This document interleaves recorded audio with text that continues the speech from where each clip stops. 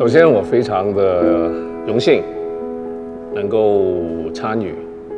那么，我当然希望我们中国电影继续发光发亮。确实，这几年我们的电影无论啊在票房、在世界的影响力都越来越好。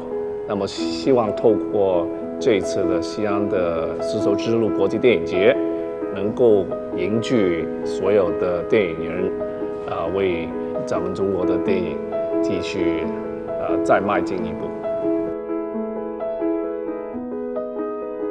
无论是呃外语片也好，咱们自己的片也好，我希望就是以质量呃为主，不仅是给观众惊喜，就是自我挑战也好，观众也可以从我的电影看到甄子丹的每一次电影的有一些变化，有一些创新，呃，当然里面的内容也必须要非常符合我自己。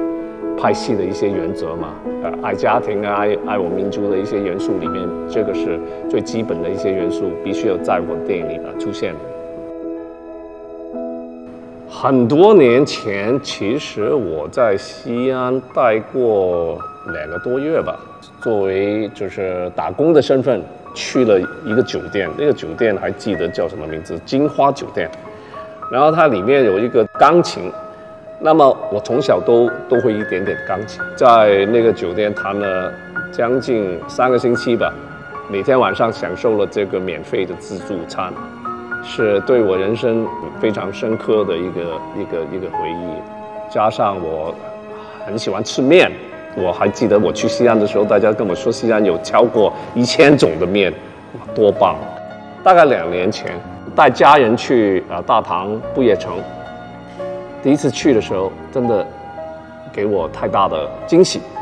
我每一次见到一些外国的朋友，我都跟他们说：啊，你必须要去西安，你必须要去啊大唐不夜城。这一次有机会，我也再去再去逛一下。